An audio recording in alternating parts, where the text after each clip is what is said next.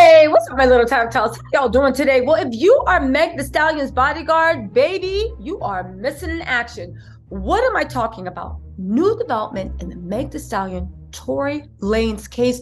This case has had so many twists and turns, but the latest one and most damaging one is Meg's bodyguard, Justin, is completely missing and nobody can locate him. Y'all, let's get into the details because Meg's attorney spoke directly, directly to, I think this was broken by the shade room. Y'all, this is not even funny anymore. And I do want to say one thing before we get into why he's missing and how this is bad and where they think he is.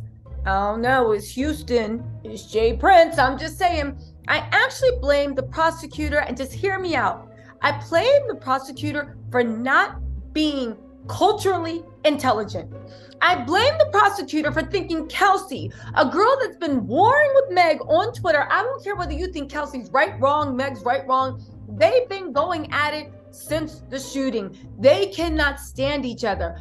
On top of that, Kelsey is both her uh, was married and has a baby to a 5101 executive and I think he might own a little bit of the record company too. Who is that? 5101 is the record company that Megan is currently in a dispute with over her contract. Kelsey's money, her husband's money, is tied to Meg, and I would think also tied to making let Meg look bad. On top of that, they were even in court. So how did you think that you were going to get Kelsey and she was going to be a star witness when she got umpteen million reasons not to like Meg and umpteen million reasons to make sure that she doesn't do good and get her back. On top of that, they literally in court, the defense attorney read a, a lyric from Kelsey's song talking about, you know, busting back or whatever. And she was like, read the lyric. And he read it. What's that say? You read it. Read it again. What's that say? Asked him to read it four times with a smirk on his face and a smirk on her face. And then when they were like, So did you write that? She was like, mm, You know how rap lyrics are. Then turned her head and mouthed to her husband in the courtroom. This isn't all the court documentation. You guys can verify. Why is that also showing that you don't have any uh, uh, cultural intelligence or didn't even try to have cultural intelligence?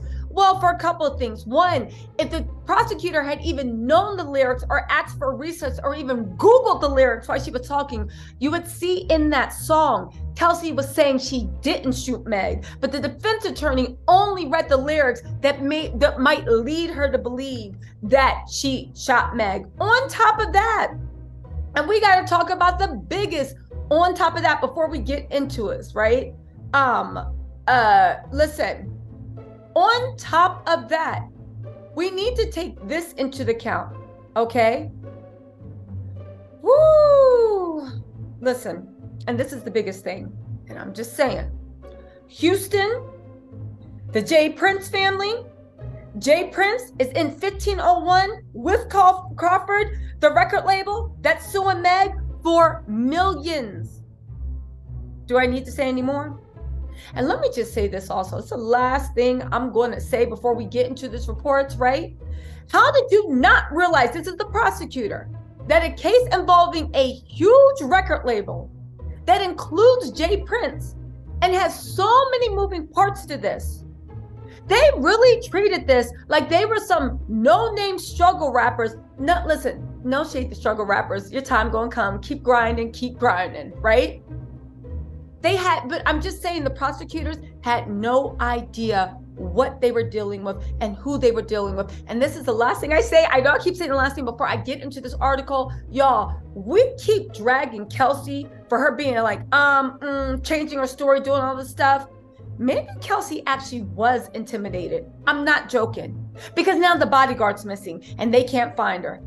They said Megan's bodyguard, Justin Edison, is now considered a missing person. I repeat, he is not just playing hiding, he is being considered a missing person. He was supposed to testify yesterday. He's the sole reason Tory Lanez got charged. He went to Tory's house to get Megan's things. He claimed Tory confessed that he shot Meg.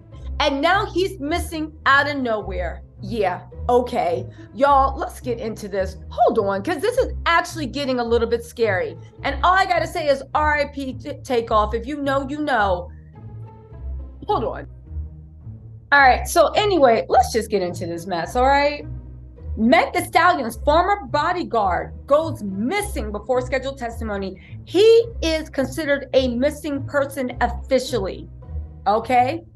They said it's a week of shocking testimony wrapped up in the Tory Lanez assault trial. The Shade Room has exclusively learned that Meg Thee Stallion's former bodyguard, who was also scheduled to testify on Friday, Justin Edison, cannot be located. Meg's attorney, Alex Spiro, spoke exclusively to the Shade Room and said, We recently learned that Justin Edison went missing right before he was scheduled to appear in court.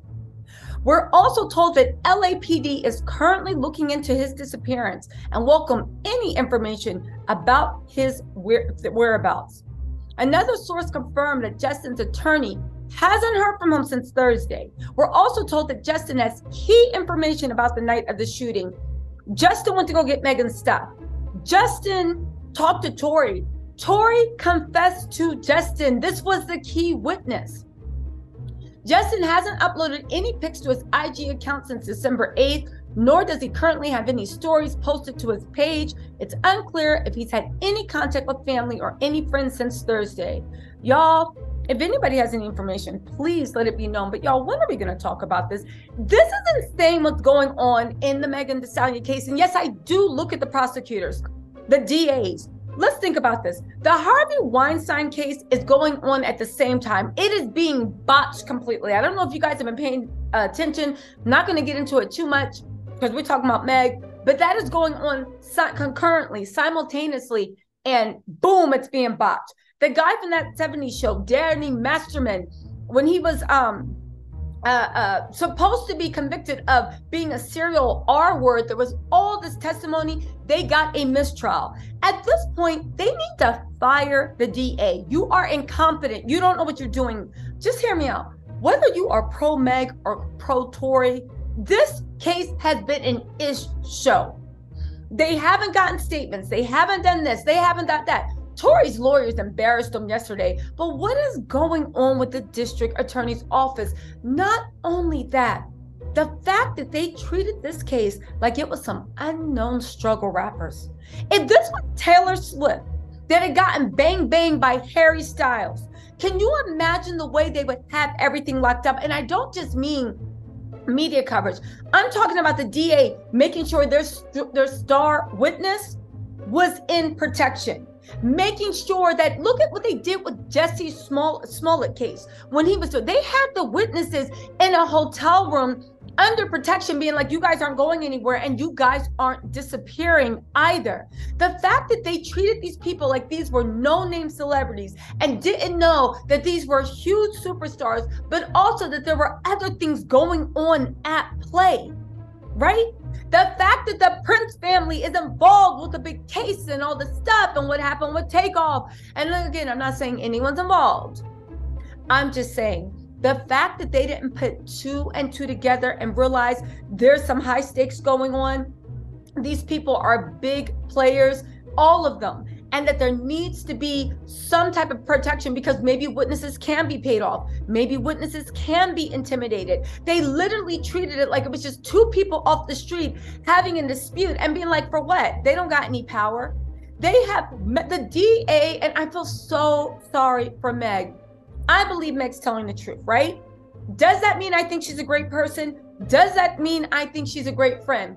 That's a conversation for a different thing. A lot of things came out in a trial, but the one thing that I never lost sight of is you were shot. I don't care if you're a man, a woman, whoever, you were shot in cold blood. There were only two people that could have did it, right? Where are they? Let's talk about the driver because a lot of y'all was like, well, what about the driver? Yeah, what about the driver? The driver's missing, right? Just like Justin's missing. And before people go and say, oh, well, the Justin's missing because he didn't want to disappoint Meg because he was going to go up there and tell the truth. Shut up. Up. Your mom or your daddy to go read you another bedtime story. The driver who worked for Tory, they can't locate him at all. That's convenient because he could have actually said under oath who shot. He worked for Tory. I would think that the driver that worked for Tory would have no problem actually saying, Yep, Meg did it. But he went mysteriously missing. The bodyguard that Tory confessed to, that's what the bodyguard's saying, now mysteriously missing. What y'all gonna say? He went missing because of Meg, but then why is the driver missing? And we all know that Tory has ways to get into the man that you to get to the man that used to be the driver. Why is he missing? Everybody that can corroborate the fact that Tory did something has gone missing. Now, who didn't go missing? Kelsey. But I'll tell you what went missing. Her GD mind on trial went missing to the point of she basically perjured herself. We'll see if they bring up perjury charges. And had the lawyer, uh, Tory's lawyer, not been so stupid and cocky and trying to get in, right? They probably would have got away with it. Tory, Kelsey went on tape and said that Tory said, Yo, I want to offer you something.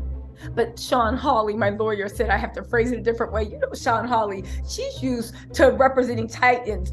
She looked at Tory's little butt and was like, "Boy, don't make me knock that lace front off your head." She was, she literally got off the case and said, "Yeah, I'm not working this case anymore. You're too stupid." Kelsey's up there acting like she got amnesia, but then remember what the nail art on Meg's nails look like, right? The, What perfume Meg was wearing the way Meg looked to the side and wanted nachos. But then I'm like, okay, so what happened in the car? She was like, hmm, I don't really remember hearing gunshots. She was so close to the gun that there was uh, gunpowder on her. And I know now, which Kelsey getting on the trial was horrible for Meg until yesterday, but also good at the same time. Because I realized every incel misogynist, everybody got mommy issues, every girl that like, you know, thinks Megan doesn't deserve whatever. And they're like, you know, the patriarch and princesses, they're yelling for Meg. Now they, Kelsey, by her testimony, gave, right? Gave everybody somebody new to hate. They got a new woman to hate. It's not Meg anymore. She actually was shot. Remember how for two years y'all gonna feel real stupid when Meg gets on that trial and she's exposed for lying about gunshots. Remember the fake medical reports? Remember all this, right? Kelsey gets on the stand, embarrasses herself to the point that the judge is sick of her she then then Megan, right, is no longer person enemy number one. Now these same people that said Megan was a liar, it never happened. She imagined all this, and she just want to see a black man do bad. Now all of a sudden, Kelsey is public enemy number one. People either like, girl, you got paid off, or two, girl, it was you. But the one thing I want to say to the people that said it has to be Kelsey, you really think that Tory Lanez, after Kelsey confessed to the prosecutor that he shot her, he shot Meg, and Tory knows she said that because in Discovery, they had to share that evidence. So Tory knows, and Tory knows what's on Kelsey's tape. Tory Lanez is protecting a woman that literally tried to frame him with the police, protecting a woman that tried to frame him with the police, according to Tory. And now he's protecting and going out and won't just come right out and say, it was Kelsey. Man, y'all living in a dream world. I do want to say there is something very wrong and something very dangerous going on. And this is beyond, oh, who hates Meg? But again, at the end of the day, the only people that we can blame, honestly, is the district attorney. You should have got sworn depositions. You should have gotten statements. You should have did all this stuff. You should have had the witnesses under protection. You should have known what you were dealing with. You should have shoulda, shoulda, could, uh, uh, uh, coulda, coulda, coulda. Y'all, let me know what y'all think in the comments. But honestly, let's pray Justin is safe. Let's pray the driver is safe. Let's pray everybody in this case, even Kelsey. Now I'm like, baby, was Kelsey um, intimidated? But then I keep going back to no, she's just stupid. Anyway, y'all, let me know what you think in the comments, and I will talk to you later.